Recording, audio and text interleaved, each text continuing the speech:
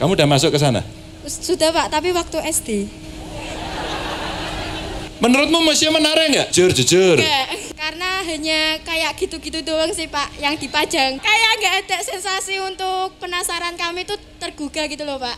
Kalau kamu berharap dari yang ada di dalam museum itu apa yang pengen kamu lihat? Oh. Kalau di museum ini di lorong-lorongnya dikasih hologram dan lain-lain sejumlah dari Sabang sampai Merauke agar kita tahu kalau di ujung Sabang sampai Merauke itu ada apa aja gitu. Luar biasa, tuh Hanya- banget penjelasannya ya.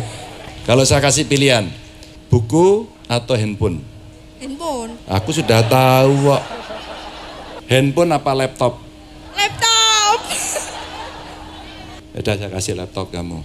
Pak boleh foto enggak Pak? Ya. Belum Eh, cepat. pernah foto. Iya, jangan cepet. Tolong fotoin. Ya, fotoin. Saya Pak tak copot masker. Satu, dua, tiga.